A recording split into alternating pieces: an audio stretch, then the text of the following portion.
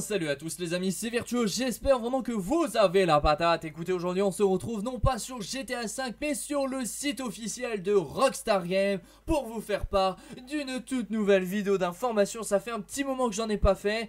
Tout à l'heure j'ai fait un live avec pas mal d'abonnés où on a décortiqué toutes les informations que Rockstar nous ont données. Là dans cette vidéo je vais vous résumer toutes les informations le plus rapidement possible. Enfin du moins les plus grosses informations et ce que vous devez connaître de ce nouveau DLC qui sortira mardi 29 août. Donc voilà, pour la première information, je vous ai donné la date. N'oubliez pas de lâcher le petit pouce bleu qui fait toujours plaisir. Et on va commencer. Donc comme je vous l'ai dit, le DLC sortira mardi prochain, soit le 29 août 2017. Celui-ci se nommera Smuggle Run. Smuggler's Run est aussi un jeu qui a été créé et édité par Rockstar qui est sorti sur PS2 uniquement et qui est sorti, sorti dans les années 2000. Donc on va dire que ça remonte à un très très long moment. Rockstar a décidé de créer un DLC à l'effigie de ce jeu pour leur faire entre guillemets un sorte de clin d'œil et franchement ça en vaut le coup. Je vous invite à aller voir le trailer, je mettrai le lien dans la description.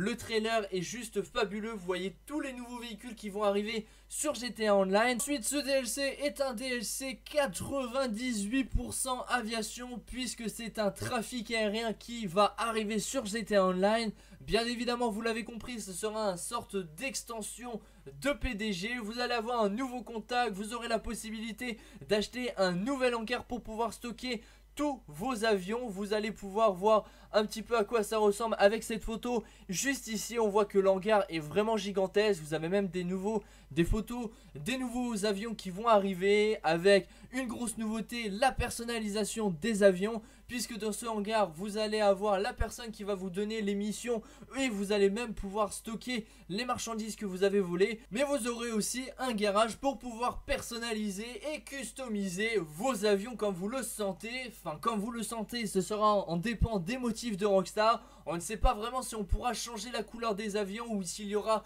obligatoirement des motifs. Ce qui est sûr, c'est qu'il y aura un garage pour ces avions. Vous pourrez modifier l'apparence, la customisation, les performances, les motifs. Enfin bref, vous pourrez même les armer, les désarmer comme vous le sentez. Donc ça, c'est une très grosse nouveauté. Je ne sais pas si ça va s'appliquer aux avions que nous avons déjà sur GTA Online.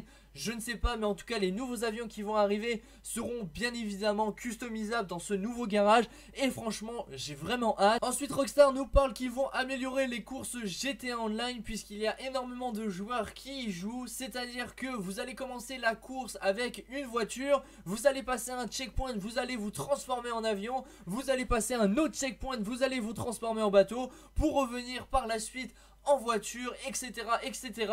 Franchement, ça a l'air vraiment hilarant comme mode. Et Rockstar nous dit pour terminer qu'il y aura de nouveaux véhicules à 4 roues qui vont aussi arriver sur GTA Online dans les prochaines semaines. Et qu'il y aura aussi des nouveautés très amusantes pour Halloween et les vacances de décembre et bien plus encore. Donc voilà, je vous ai plus ou moins tout dit sur les nouveautés du DLC qui va arriver la semaine prochaine. Si vous voulez que je vous fasse entre guillemets une sorte d'analyse très très courte du trailer en vous montrant les images clés, les nouveaux véhicules et j'en passe, faites-le moi savoir dans l'espace commentaire. En tout cas, j'espère que cette vidéo vous aura fait plaisir. Si c'est le cas, comme d'habitude,